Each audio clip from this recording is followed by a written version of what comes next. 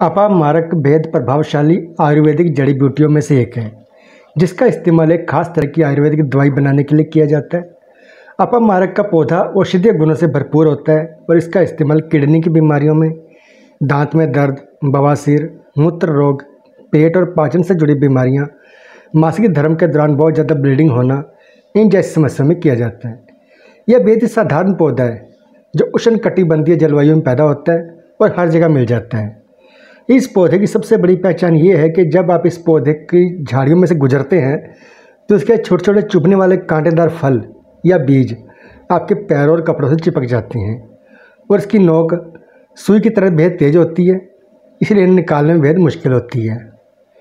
अपामारक के कौन कौन से फ़ायदे हैं उसका सेवन करने से क्या क्या नुकसान हो सकते हैं और क्या क्या फ़ायदे हैं और इसको अपने कैसे यूज़ करना है, इसी के बारे में आज चर्चा करेंगे। तो चलिए दोस्तों, शुरू करते हैं। अपामारक की पत्तियाँ, जड़, बीज और यहाँ तक कि पूरे पौधे का भी विभिन्न बीमारियों के इलाज में इस्तेमाल किया जाता है। औषधीय गुणों से भरपूर यह पौधा किन बीमारी को दूर करने में मदद करता है, आइए जानते हैं। दोस्तों, ये दांत दर्द में बहुत फ़ायदेमंद है। अपामार्ग दांतों में दर्द और मसूड़ों में खून आने की समस्या का बेहतरीन हर्बल इलाज है। आप चाहे तो अपामार्ग की डंठल या जड़ों का इस्तेमाल कर उनसे दातुन कर सकते हैं। ऐसा करने से मसूड़े टाइट हो जाते हैं और इसके अलावा अपामारक की पत्तियों और जड़ों को सुखाकर पीस लें और इसका पाउडर बना लें। इस पाउडर में चुटकी भर नमक मिलाकर उससे भी रोज़ाना ब्रश करने से दांत में दर्द की समस्या ठीक हो जाती है। अपामारक को पेट साफ़ करने वाली औषधि के रूप में जाना जाता है, जो आंत में किसी तरह के इन्फेक्शन और कीड़ों को दूर करने में मदद करता है। ऐसे में लंबे समय तक उल्टी आने और जी चलाने की समस्या को भी दूर कर सकता है। अपमार की पत्तियों का जूस पेट में दर्द की समस्या को दूर कर सकता है। और इसके लिए अपमार की पत्तियों का एक चम्मच जूस, चार चम्मच पानी मिलाकर रोज़ाना एक बार सेवन करें। पेट दर्द में आराम मिलेगा। अपामार्ग बेहद शक्तिशाली और असरदार डिटॉक्सीफाइंग जड़ी बूटी है, जो अंदर से शरीर की सफ़ाई कर बीमारियों को दूर करने में मदद करती है। अगर किसी को एक्जिमा, त्वचा पर घाव, स्किन इन्फेक्शन, फोड़े फुंसी या और कोई इन्फेक्शन हो जाए तो इसके लिए अपमार की पत्तियों को पीस कर इसका पेस्ट बना लें और स्किन पर लगाएँ। इससे भी स्किन से जुड़ी समस्याएँ दूर हो जाएँगी। इसके अलावा अपमारक खून को भी साफ़ करता है, जिससे स्किन पर खुजली और चिकट्टे की समस्या नहीं होती। सर्दी, जुकाम और खांसी की समस्या होने पर अपमारक का इस्तेमाल किया जा सकता है। इसके लिए अपमारक की पत्तियाँ या फूल को पानी में मिलाकर उसे उबाल लें और उसका अर्क या काढ़ा तैयार करें। इस अर्क का दिन में दो बार सेवन करने से खांसी जुकाम में आराम मिल जाता है।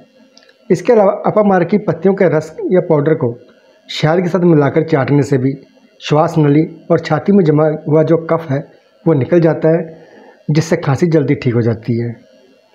अगर किसी व्यक्ति को बवासीर या पाइल्स की समस्या है तो इसके लिए भी अपामार्ग बेहद फ़ायदेमंद आयुर्वेदिक उपाय साबित होता है।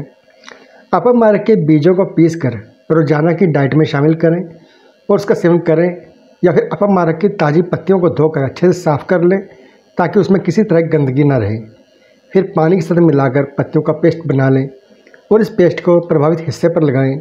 ऐसा करने से भी बवासीर की समस्या में आराम मिलेगा। अपामार्ग एक ऐसी जड़ी बूटी है जिसमें एंटी डायबिटिक इफ़ेक्ट पाया जाता है। इसलिए ब्लड शुगर को कम करने में मददगार साबित होती है। इसके फूलों का इस्तेमाल प्राचीन काल से डायबिटीज़ का इलाज करने में किया जा रहा है। अपामारक के फूलों में एथेनॉल तत्व पाया जाता है, जो एंटी डायबिटिक एक्टिविटी में मददगार है। ऐसे में अपमारक के फूलों को पीस कर उसका जूस निकाल लें और रोज़ाना एक चम्मच जूस का सेवन करें। शुगर लेवल कम करने में मदद मिल जाएगी। अपमार्ग हृदय की स्थिति को बेहतर बनाने में मदद करता है, क्योंकि यह ब्लड सर्कुलेशन में रुकावट पहुँचाने वाले और बढ़े हुए बैड कोलेस्ट्रॉल को कम करने में मदद करता है। इसके लिए अपमार्ग के पौधे के पाँच एम रस को निचोड़कर रोज़ाना दिन में एक बार सेवन करें। अपामार्ग एक बेहतरीन मूत्रवर्धक है, जो किडनी या यूरिनरी ब्लैडर में अगर किसी तरह के स्टोन की समस्या हो तो उसे आसानी से तोड़कर शरीर से बाहर निकालने में मदद करता है। इसके अलावा अगर किडनी या मूत्राशय में इन्फेक्शन से जुड़ी कोई समस्या हो, जो व्यक्ति को प्रभावित कर रही हो तो उसे भी दूर करने में फ़ायदेमंद है। इसके लिए अपामारक की पत्तियों को पीस कर उसका जूस निकाल लें और आधा चम्मच जूस को रोज़ाना सेवन करें। तो दोस्तों, ये थे अपामारक के फ़ायदे। लेकिन हर चीज़ के कुछ साइड इफ़ेक्ट भी होते हैं, वो भी जानना ज़रूरी है ताकि आप इसका सही तरह से इस्तेमाल कर सकें। दोस्तों अपमार्ग का इस्तेमाल करते वक्त इसकी डोज यानी खुराक का बहुत ज़्यादा ध्यान रखने की ज़रूरत है। क्योंकि अपमार्ग के ओवर डोज यानी बहुत अधिक मात्रा में सेवन करने से जी में चलाने और उल्टी आने की समस्या हो सकती है। गर्भवती महिलाओं और बच्चों को अपना दूध पिलाने वाली महिलाओं को अपमार्ग के सेवन से बचना चाहिए यह उनके लिए सुरक्षित नहीं माना जाता। अगर कोई व्यक्ति खासकर पुरुष अगर बांझपन से जुड़ी समस्या का इलाज करवा रहा हो तो उन्हें भी अपामार्ग से बचना चाहिए। 12 साल से कम उम्र के बच्चों को अपामार्ग ना दें, या फिर अगर देना ही हो तो किसी चिकित्सक की सलाह लेने के बाद ही बेहद कम मात्रा में दें। अपामार्ग की तस्वीर गर्म होती है, इसलिए इसकी पत्तियों या जड़ के पेस्ट को स्किन पर सीधे लगाने के बजाय इसे पानी या दूध जैसे किसी भी ठंडे तत्वों के साथ मिलाकर इसका इस्तेमाल करना चाहिए। इसका स्वाद कसैला और कड़वा होता है और इसकी तासीर गर्म होती है।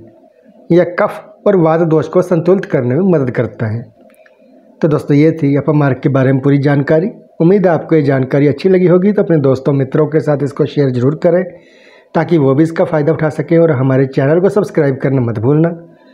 आगे भी हम आपके लिए ऐसी स्वास्थ्यवर्धक जानकारियाँ लेकर आते रहेंगे। तो जुड़े रहें मीडिया अपडेट्स के साथ। नमस्कार, धन्यवाद।